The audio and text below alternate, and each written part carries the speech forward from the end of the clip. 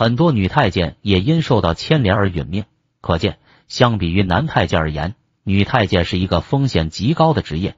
无论男太监还是女太监，都是不可否认的历史扭曲，更是封建制度残酷性的外化表达。女太监也是一个十分凄惨的群体，很多在入宫时被净身的女太监，活得更是生不如死。由于女太监大多来源于民间，他们的社会地位和家庭背景都十分复杂。为了避免皇室血统被玷污，他们都必须经历净身这一关。宫女和女官必须无条件遵守严苛的宫规，其中有一条十分奇葩的规定：不能随意魅惑皇帝或太子，否则即便怀孕后也会被秘密处决。当然，对于一枚背景、二枚靠山的宫女而言，一旦被皇帝宠幸了。甚至因此有了身孕也不足为惧，毕竟根本没有人为他们撑腰。失宠之后就会被弃之如敝履。明神宗朱翊钧年少时曾做过一件出格的事情，他因为一时冲动临幸了李太后宫中的王姓宫女，后来她居然怀孕了。彼时朱翊钧并没有子嗣，李太后得知此事后又惊又喜。当他找到儿子时，却遭到了朱翊钧的百般抵赖，最终朱翊钧惹怒了母亲李太后。被迫承认了和宫女王氏的事情，认下了儿子朱常洛。后来在李太后的压力下，册封王氏为王宫妃，但她一生都郁郁不得志，根本得不到朱翊钧的宠爱，直至最后死在了冷宫之中。这便是历史上一个比较典型的悲剧，所以女太监才应运而生。但正常男性入宫后，保不齐会和后宫妃子眉来眼去，继而做出一些违反道德的事情。简而言之。宫女无法胜任的工作都由太监去做，可见太监的存在就是为皇室服务的奴仆。既然宫女和太监完全可以满足一时的需求，为何还会出现女太监这个特殊的群体呢？成书于三千多年前的《周礼·天官》中有一篇专门用来阐述女太监的章节及女史。所谓女史，是为皇后服务的女官，简单说就是皇后的私人秘书。女史主要负责替皇后草拟奏折。诏书以及传递皇后的命令。据《女史》记载，周代设有八位女史，分别负责不同的工作内容。周代始设女史之后，历朝历代一直延续此传统。清朝灭亡之后，才随之引入历史的烟尘。汉代时期，宫内女官制度被正式确立，出现了女御长、宫长和中宫学士十等职位。唐宋时期，女官的发展达到了鼎盛时期。唐朝设置了六上官制度。几乎涵盖了包括衣食住行等在内的所有方面。到了宋代，女官制度仍然长盛不衰，而且比唐代更加完善，宫内的女官数量超过二百余人。明代亦是如此，比唐宋两朝还要完备。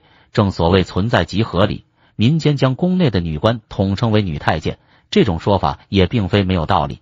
毕竟，他们和男太监的经历和遭遇大同小异，女太监和宫女也存在很大的差别。宫女主要负责侍奉皇帝和后妃，工作内容主要以端茶送水、打扫卫生等为主。而且历史上有很多宫女在得到皇帝的宠幸后，实现了人生的大逆转。王政君、万贵妃、窦漪房和赵飞燕姐妹等。但女太监进宫的初衷却绝非给皇帝做妃子，因为挑选女太监时容貌不是硬标准，她们的年龄往往都在三十至四十岁之间。绝大多数都是民间女子，相比于宫女而言，女太监的工作内容十分繁杂，比如掌管文印、记录皇帝以及后妃起居等。当然，运气不好的还会被分派去打扫卫生。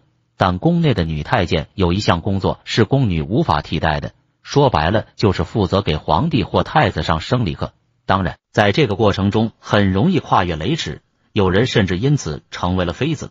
另外，女太监还有一项特殊任务，替皇帝监视宫内后妃的一举一动。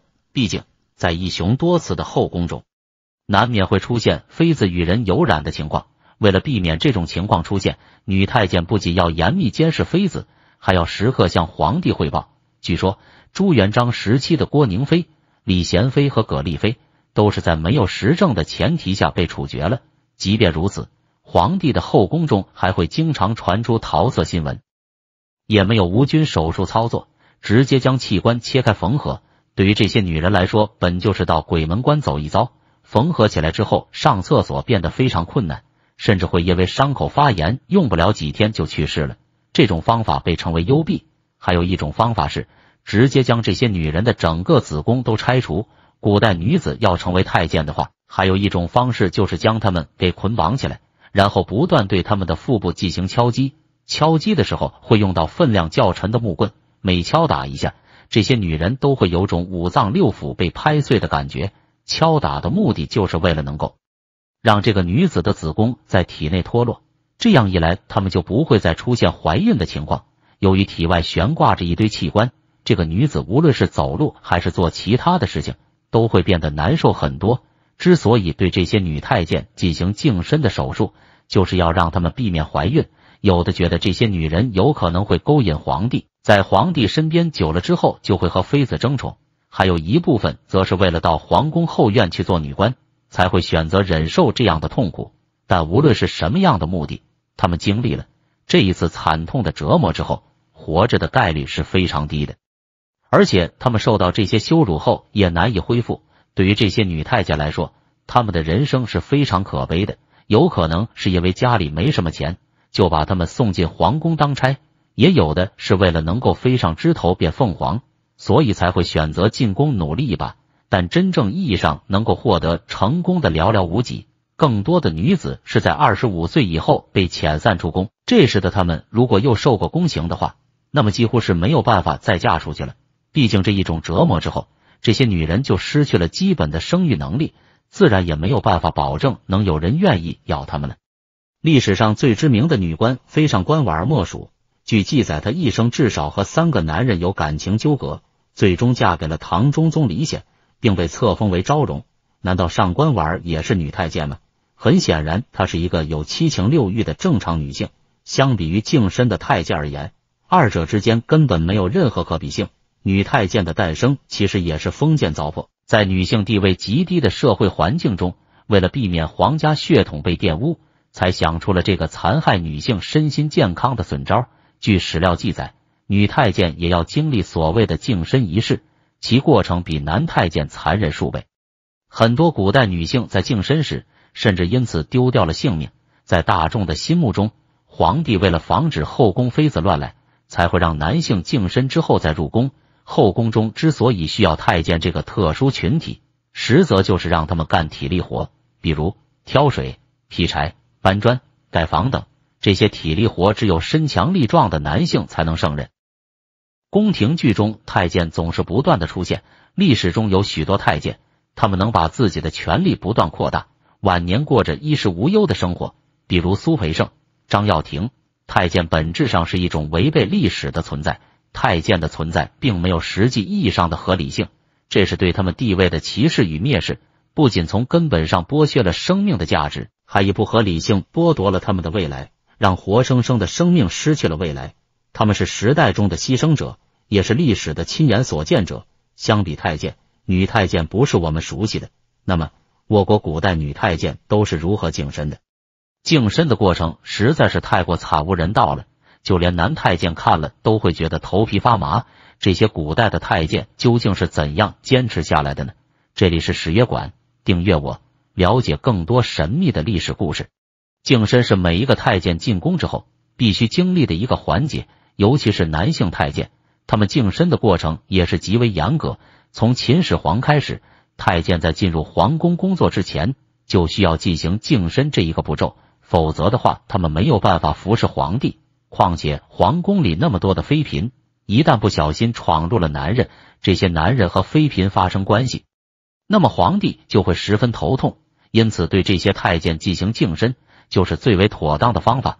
那么，男太监和女太监之间的处理方式有何不同呢？太监在净身的时候，一般会准备一个非常锋利的刀片、白酒还有蜡烛。在净身的过程当中，这个太监的手脚会被捆绑起来。当时还没有出现麻药这一种成分，因此所有的痛苦都得人为坚持过去。他们嘴里会被塞上一块抹布，避免他们激动过度把舌头给咬断。这时就可以对刀片进行消毒。消毒的步骤是放在蜡烛的火焰上进行烘烤，刀片表面会涂上一些酒精，经过高温烘烤之后就可以进行手术了。然后在手术过程中，只需手起刀落将男性的性器官切除，而这个太监在做完手术之后就可以得到一些草木灰等止血的用品，然后他要坚持个两三天，能够正常活下来的话，就有机会进入皇宫做太监。由于太监的器官被切除之后，他们上厕所是非常困难的，也就出现了无法控制排便的情况。女太监的状况则截然相反，他们除了用直接切割的方式之外，还有两种非常狠毒的方式将他们进行净身。这些女太监净身的时候，会拿出手术工具，将他们的下半身身体器官进行切除缝合，有的时候只剩下一个筷子口大小的洞，方便他们上厕所以及每个月来月事的时候。通过那一个孔洞流出来，但这对于这些女太监来说，无疑会造成伤口感染，因为古代没有专门的消毒工具。